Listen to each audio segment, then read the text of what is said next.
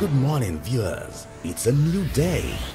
Welcome to today's devotion with the Daily Fountain, the devotional guide of the Church of Nigeria Anglican Communion. Invite your family and friends. Get your Bible and your Daily Fountain manual while our devotional leader takes us on today's devotion. Welcome to this exciting moment with the Lord as we begin our day. For today's meditation, we read from Matthew chapter 24, verses 32 to 44. Matthew 24, 32 to 44. Now, learn this parable from the fig tree. When its branch has already become tender and puts forth leaves, you know that summer is near. So you also, when you see all these things, know that it is near at the door. Assuredly, I say to you, this generation will by no means pass away till all these things take place. Heaven and earth will pass away, but my words will by no means pass away. But of that day and hour no one knows, not even the angels of heaven, but my Father only. But as the days of Noah were, so also will the coming of the Son of Man be. For as in the days before the flood, they were eating and drinking, marrying and giving in marriage, until the day that Noah entered the ark, and did not know until the flood came and took them all away. So also will the coming of the Son of Man be. Then two men will be in the field, one will be taken and the other left. Two women will be grinding at the mill, one will be taken and the other left. Watch therefore, for you do not know what hour your Lord is coming. But know this that if the master of the house had known what hour the thief would come, he would have watched and not allowed his house to be broken into. Therefore, you also be ready, for the Son of Man is coming at an hour you do not expect. This is the word of the Lord. Today's topic is Jesus shall come again. Today is a special day that marks the beginning of the church year, which we call Advent and Advent Sunday. So, our emphasis for this devotion is centered on the second coming of our Lord and Savior Jesus Christ. Of course, Advent is first Advent, He came for our redemption, He paid the supreme price by shedding his blood. And so we thank God that we have a Savior. We have a Savior who came and died for us, redeemed us. And he didn't end there. He's coming again. He's coming again. And that is the message for today that Jesus is coming again. What is expected of us is what this meditation is drawing our attention to.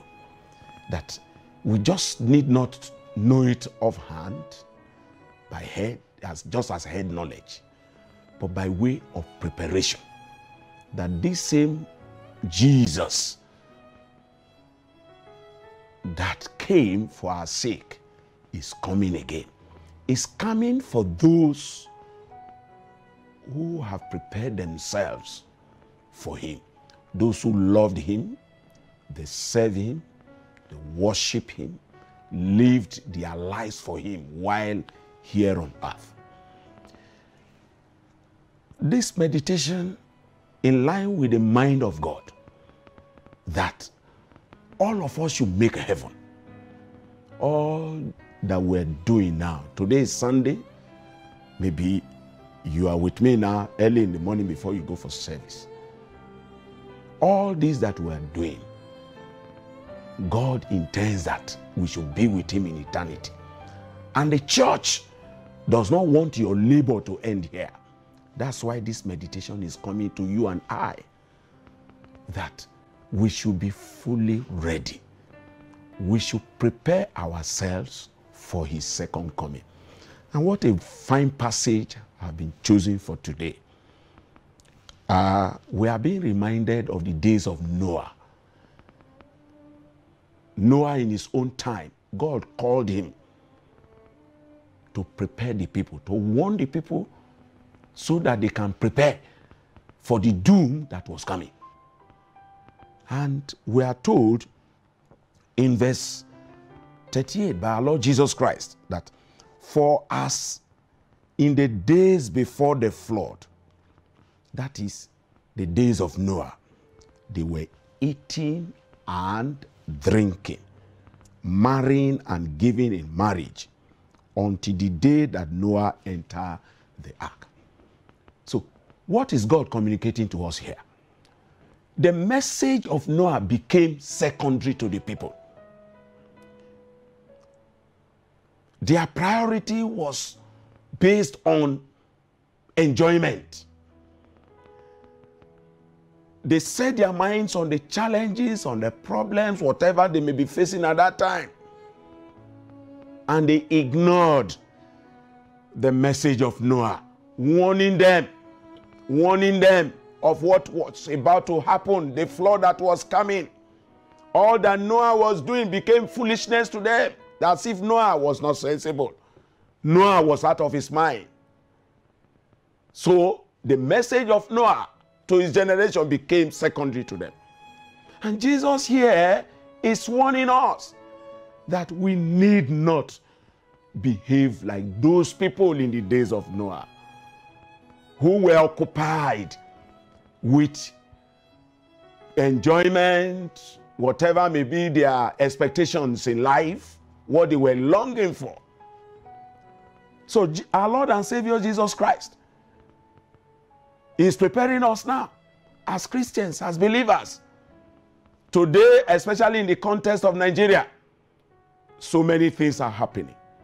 People are longing for a better life. Indeed, people are suffering. People are suffering. Basic amenities of life are lacking. Everybody wants breakthrough. We all are longing for breakthrough. We want better, better standard of living. We are tired of the suffering, especially if you have been privileged to reach out and see where government have plans for their citizens. And you see what we are going through here. Oh, all these things are sufficient enough to occupy people's mind. But with this meditation, the word of the Lord is coming to you and I. That despite all these challenges we are facing, our faith in Jesus Christ must be supreme over and above whatever we may desire in life. God is not stopping us from desiring those things, like He said.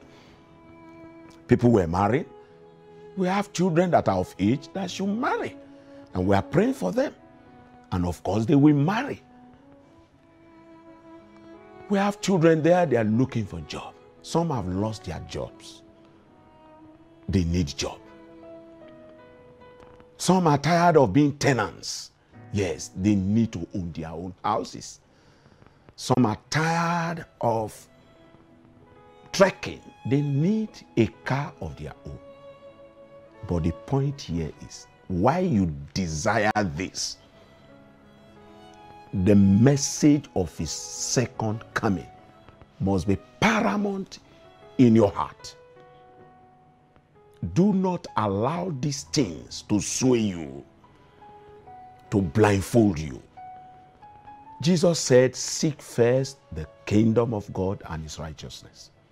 So, in this end time, in this Advent season, this penitential period where we need to be sober, sober, reflect upon our lives, with a view to improving on our living standard, on our spiritual life, and so on and so forth, the message of his second coming must be paramount in our hearts. In these days, there are so many things to celebrate. In fact, celebration seems eh, has extended beyond weekends now. Beyond weekends. Before it used to be Friday, Saturday, Sunday. But now you see from Monday all through birthdays, other things to be celebrated. And so if you are not careful, all these things will weigh your heart down. And you just push the essential message, the message of this cross, the message of his coming. You could just make it secondary. The temptation the temptations are there. And that's why Luke warned his hearers. Jesus speaking in Luke chapter 21 and verse 34 said, But take heed to yourselves. We should take heed. The same thing in Matthew 24 which we read, say, Watch. Watch it. Watch it. Take heed to yourselves, lest your hearts, that is where the devil want to take over. And you can't allow that. Lest your hearts be weighed down. Weighed down with carousing, merrymaking, so many things to celebrate be weighed down with the things you, with different expectations of yours, and you are carried away. The breakthrough you are longing for, and you are carried away. Drunkenness and cares of this life, very important. Cares of this life. This is the biggest challenge facing us now, especially in Nigeria, in Africa. Cares of life. Uh, Jesus won so that that day come on you unexpectedly. So we are expected to prepare. He's coming again. What are those challenges you are facing? Have they occupied your mind? No. Much as the Lord is promising you that He's going to respond to them, let the message of His second coming be paramount in your heart. Live every every of your day as if it's the last day this is the message of Advent. As if it's your last day. That Jesus could just come now. It could be now. It could be tomorrow. Nobody knows. Nobody knows. So, the summary of this message is that we must be ready. Wherever we find ourselves, in the office, in the market, alone at home, wherever. Are you traveling? Get yourself ready. As if it's your last moment. Oh, you can't miss heaven. Eternity eternity with Jesus. Heaven is real. Oh, my brothers and sisters, when I see the beautiful things in this world that God has given man knowledge to, to, to manufacture or to create, it reminds me of better things. Better things. Those of you are wealthy, you are rich, you have money. Oh, all those things you are enjoying should point you to better things the Lord is preparing for so, no matter your situation, the Lord will respond to you as you choose to be faithful to Him. It can only get better. Take that message. It can only get better with you as Jesus become the Lord and Savior of your life.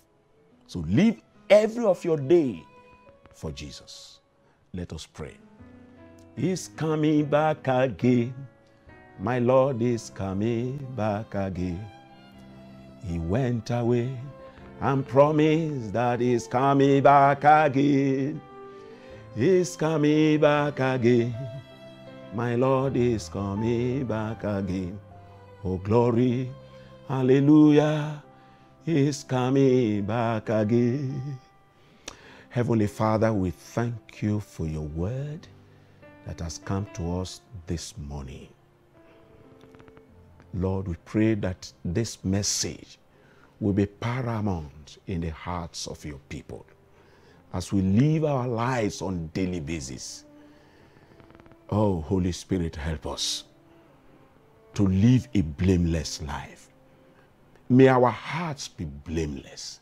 May we live in righteousness and holiness. We pray that all these things, with their pressures, will not draw, draw us away from you, but we will hold on to you daily. And that eternity with Jesus will be our portion. In the name of God the Father, and of the Son, and of the Holy Spirit. Amen. Amen. We thank you for fellowshipping with us today. We invite you to join us tomorrow morning, same time, same station, for another special edition of the Daily Fountain. If you are led to sponsor or support this program, please contact the numbers and email all showing on your screen. Also, subscribe to our YouTube channel at youtube.com slash acnntv. Visit our website www.acnntv.com.